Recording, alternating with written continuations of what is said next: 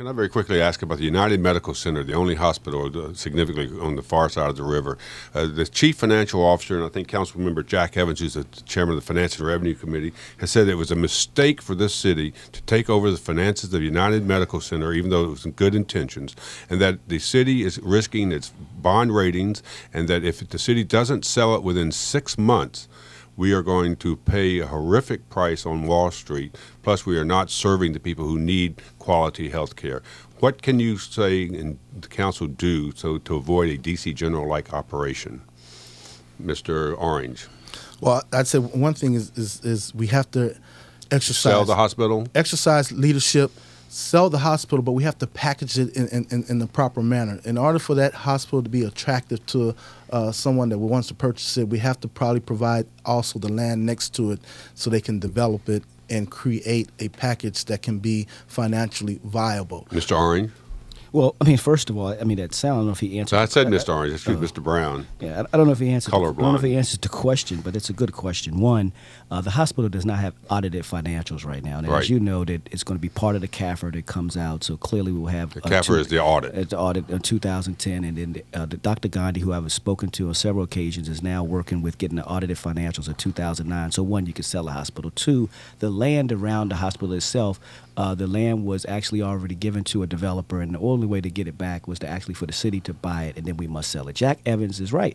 What he's saying is that you know we cannot hold on to the hospital. We must sell the hospital. In order to sell the hospital, you have to have audited financials, and that's what we're doing now. And Dr. Gandhi uh, says it's going to be about five months before we have that completed, and then we can go out and sell this hospital. But let me just say one thing, what I think is important, and that is that for the first time uh, east of the Anacostia River, you do have an MRI. Uh, that people can go and get an MRI. You do have a hospital up and running, and if, if in fact we would have done nothing, that hospital would be gone today. Yeah, but if I can just Uh, wait, wait, we've we've we've put hundred million dollars into United Medical Center. It has not worked.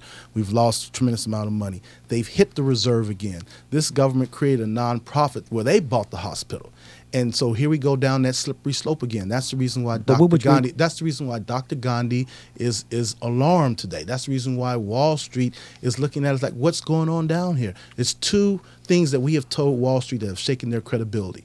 We told them we would not spend below nine hundred twenty million dollars in our in our uh, reserve. We came back and we got us down to six Let me anticipate Mr. Brown's and question. going to What would United you have done? Center. I, I, I would not have took ownership of the United Medical Center. You would have let it fail? I would, I would, I would have uh, redid a, a temporary deal with the, the folk with specialty who was at the table.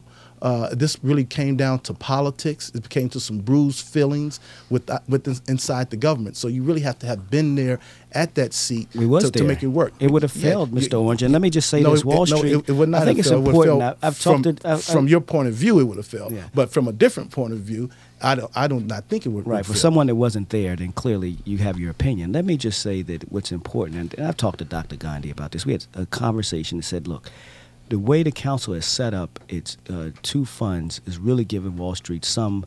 Uh, uh, uh, uh, give them some confidence. It's not all the confidence that is needed, but finally say we are going to replenish our reserves. We are going to play, pay down our debt. We are dealing with tough financial times, like America is dealing with tough economic times. As chair of the of the Metropolitan Council of Governments, Maryland and Virginia is facing the same thing.